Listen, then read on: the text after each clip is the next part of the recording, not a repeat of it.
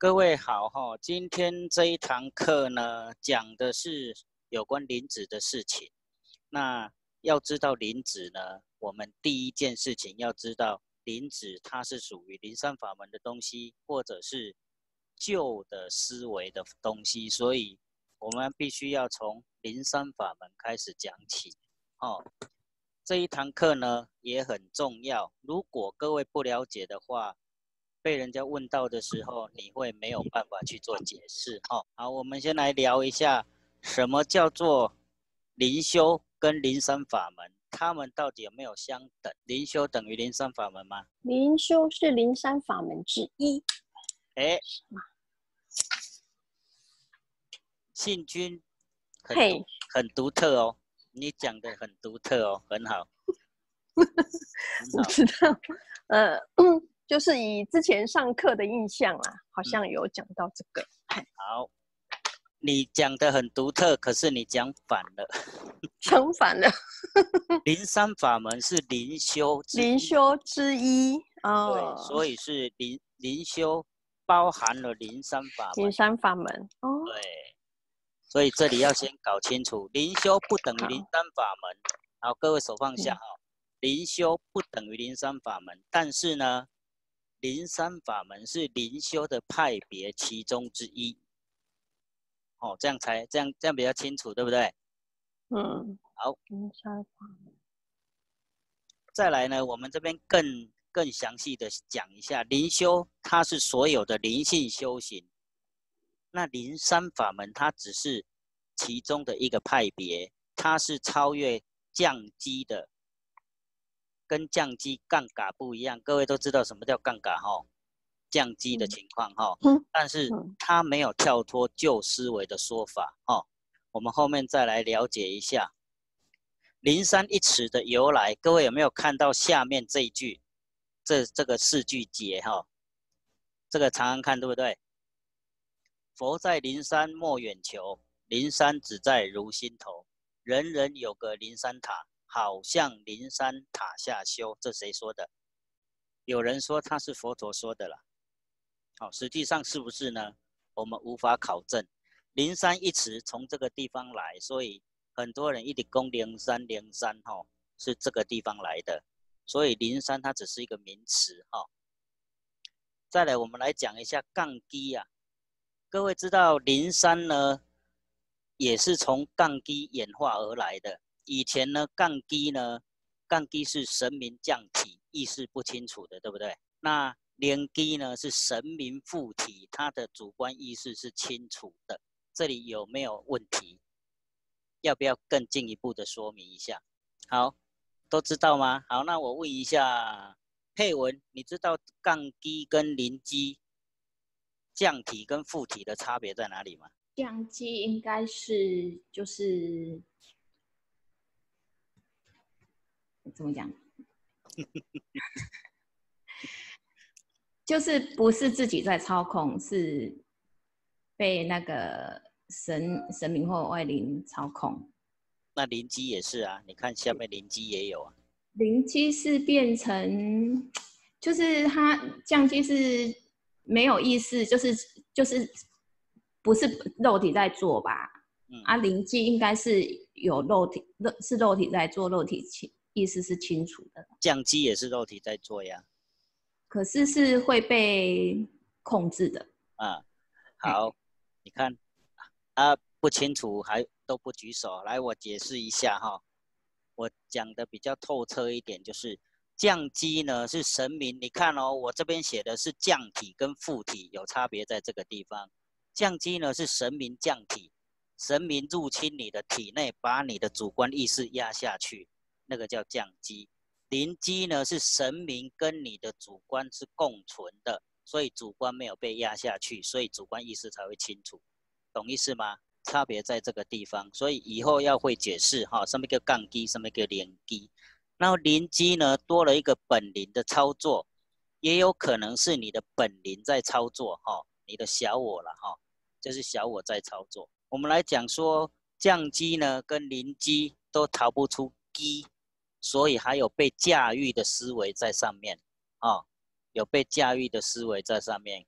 这样各位清楚吗？所以呢，后来慢慢才演化成两三，因为低拍听，慢慢就有人开始意识就很高涨，把自己神格化，把自己的小我，也就是他们所称的主灵神格化，变成所谓的两三。对，所谓的杠低呢，有的说法是把你的灵拉去旁边，把你的主意识啊，哦，我们用现代讲法就是把你的主意识拉去旁边，然后神明下来。这个是一个说法，另外一个说法是把你的主意是压下去，把你的主意是压下去，由外灵来说话，安尼听好不？所以他就是有呃旧思维的说法跟思新思维的说法，但是意思是一样的咯。意思是一样的，一个是拉走，一个是压下去。那实际上应该是压下去，而不是拉走。你的意识是不会被拉走的。被拉走就是你的灵魂被拉走，你不就挂了吗？照理讲是压下去，而不是拉走哦。然后呢，所谓的连机就是跟你共存，它不压你的主意识，哦，不会去压压迫你的主意识，所以才会有有一些比较老的当机呢，它的意识是存在的。有没有听过？有一些比较老的当机，它的意识是存在的，那个就是没有压，没有全部压。哦，它只杠人工杠一半，杠半机啊，杠三分机就是这个意思，所以是把你的意识给压了三分而已，或压五分而已，你意识还是在的，但是你你的主意是控制不了那个灵体，控制不了。对，所以很多老鸡呢，很很多机心它本身没有修身养性，它到老鸡的时候，意识开始存在的时候就会人为，所以很多人偏掉就是在那个地方偏掉，所以我们会强调说。如果你是连低的状态，一开始就强调修身养性，那你不是的情况下，通常他们也不懂得修身养性。当然不是全部了，还是有有有的人他是用杠低的方式，但是他从刚开始就开始就在修身养性，还是有的哈，所以不可以以偏概全哦。好，这里清楚哈，那我我们继续往下讲哈。灵山呢，所谓的灵山，我们总结一下，它就是修行路上的这一条主导林。也就是你的，我们后来称为小我的这一条，哦，叫做主导林，或者有的人叫守护灵，哦，很多种说法，它是需要被点灵跟起灵的，跟我们的起灵有没有一样？我们灵，我们灵修者在说的起灵有没有一样呢？好，告诉各位是一样的，不管你是灵修灵修派还是什么灵灵山派，都需要点灵跟起灵。其实啊，各位手放下哈，其实它是同样的，都需要起灵。各位看看我下面有写哈，它是灵觉醒哦，它是灵觉醒的一个称呼，这里有没有？它是灵觉醒的一个统称。所谓的灵觉醒，我们现在其实不用这么称呼，我们现在的称呼叫做把你的。另外一个灵觉知，或者叫做你的另一面的潜意识给带上来，另一面的潜意识给带上来，这样各位清楚吗？所以灵山的起灵跟我们的起灵是一模一样的，懂吗？当然后面我们加的 PS，哦，我们所加的所谓的封印这些，这是我们自己加的，我们这个派别自己加的哈。我们来讲说。旧思维封建制度下的思维呢是什么？为什么灵山呢是旧思维封建制度下的思维？来，我来讲一下哈。如果我这边讲的不够详细，想要补充的，你可以举手哈。封建制度呢，它是一种政治制度。封建指所谓的封土建国、封邦建国的意思，就是呢，皇帝呢把土地分给诸侯。并授予他们爵位，爵位就是王爷了哈，要王爷。然后诸侯再分封卿大夫，简单讲就是皇帝啦、王爷啦、臣子的一些阶级概念，这里清楚吗？好，那为什么封建制度不好？封建制度也没有说什么不好，只要是一个人，只要上面的人是好的话，其实他也是不错的制度啊。嗯，对啊，嗯，因为因人因人因人而异吧。如果上面比如。封建制是古代，比如皇帝是坏皇帝的话，可能那个国家就没办法兴盛。那你像唐朝也是一个很兴盛的国家，也是封建制度啊。嗯，所以不一定是封建是不好的，而是用人用什么态度去去走这个制度吧。嗯，很好。嗯，这样说是对的哈，对的哈。然后廷真说不好，有阶级之分哈。啊其实现在也有阶级之分了哈，只是不用贵长官而已哈。好，再来呢，其实重点现在已经进进化到了民主社会哈，我们修行也必须跟着提升到现代化的修行。所以目前呢，我们我们这个派别，其他还有人在称呼哈。那我们这边呢，特别就讲说。我们没有所谓的零低零三的说法。对于灵性，我们以小我跟高我来区分。各位知道小我跟高我的差别在哪里？小我就等于灵山派的说法的哪一个？各位知道吗？是本灵吗？对，本灵。对，灵山派讲本灵，讲灵讲灵山呐，哈，跟公灵山，哈，灵山就是小我。那高我呢？高我在灵山派又怎么说？这我就不太清楚，不清楚哈。其实各位常常在用啊，都不会套而已。我们也这么说，属尊嘛。各位常常在讲师尊，啊，这个不就是高我吗？那我们我们特别把师尊拿来我们这边高我讲的是未来未来修成正果的我，所以叫高智慧的我，差别在这里。各位要会融入哈，要会融哈。好，我们来解释一下哈。灵山法门的起灵呢，跟点灵，我们这边叫做连接高我，对不对？它的作用通通叫做灵的觉醒。这里懂意思吗？懂哈。那天命跟灵子呢，在我们这边叫做探索生命蓝图，它的作用呢，当然都是完成任务、完成使命。那旧法呢是林子的封建说法，新法呢是心之所向，用能量去做验证。这里有不懂的、不清楚的吗？这里了解透彻了吗？哦，那我们往下讲哦。来，什么叫做灵子？我们知道灵山法门了，然后我们来讲什么叫做灵子，是不是叫做神明把纸颁给你？目的呢是做事情，对不对？那这里问题就来了，为什么神明要颁纸给你啊？神明颁纸给你干嘛？表示你有得到他的认证，得到他的认证去做事情是吗？呃，对，拿到那个这个做事情的一个像是，比如类似通行证之类的。通行证，或者叫做证明，证明你可以办一个证明办这个神明的事情。是。好，OK，那各位没有举手的意思是代表不知道，还是觉得不是神明颁颁旨给你？只有三个举手，跟当初协定做生命蓝图有关系吗？有关系，这个是现代说法哈。我们现在讲的是有关于灵山哈，灵山救的方法，为什么是神明颁旨下来？我们干脆往下讲，有疑问提出来好了哈。好，各位知道纸的种类有哪一些吗？不知道的，请把这个这个连接哈，这个连接我把它拍下来哈，我把它放在放在群组里面哈，有空的再自己去查，可以自己去查哈。那所谓的所谓的纸呢，有这五种指令。各位如果遇到灵山派的，或者遇到要讲纸的时候，各位要会解释，要理要理解之后，我们再来跟他讲心法哈。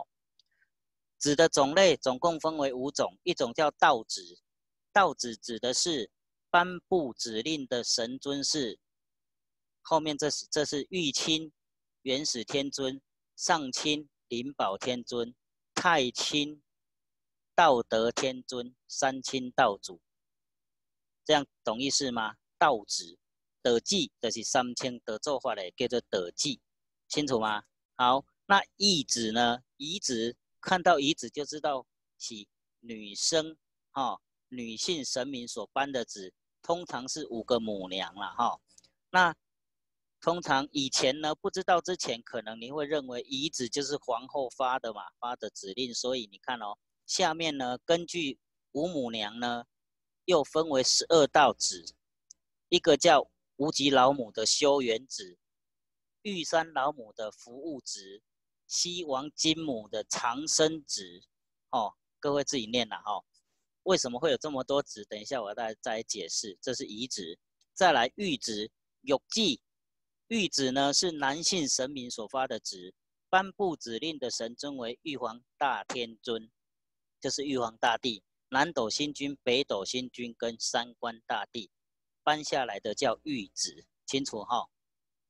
再来呢是佛子，佛子指的是慈航大士是谁呀？各位知道慈航大士是谁吗？观世音菩萨。哦，哦，大家都知道观世音菩萨哈。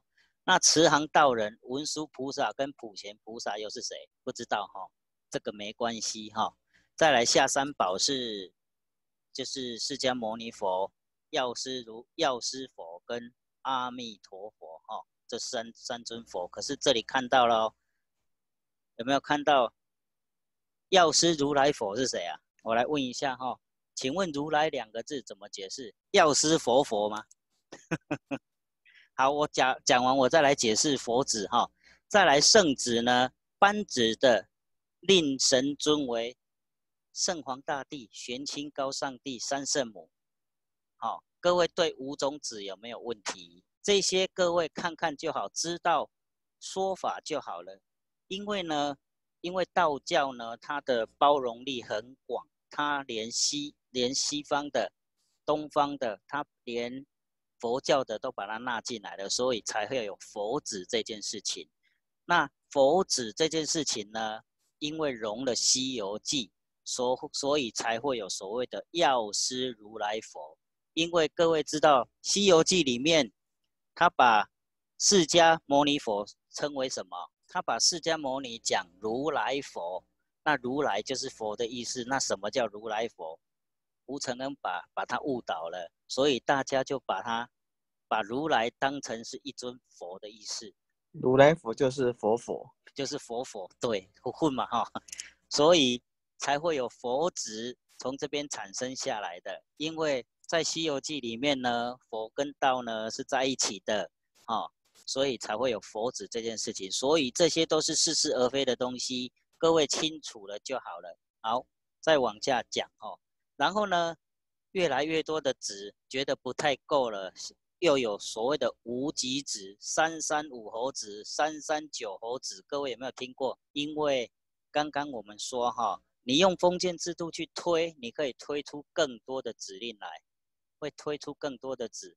为什么会越来越多子呢？因为之前没有这个东西，现在有了，有这个说法，所以这个子就跑出来了。无极子指的是什么？无极老老做法来记，因为较早无人要讲无极。现在一堆人在讲无极，当然无极子会跑出来，就开始有人在接无极子。然后呢，三三五猴子跟三三九猴子呢，这个如果你有被问到呢，你有被问到呢，你只要解释说，所谓的三三五猴、三三九猴，猴猴这个字指的是什么？指的是诸侯。就是诸侯所发的指令，你可以在诸侯间通行用的，哦。那如果没有问题，我们往下讲哦。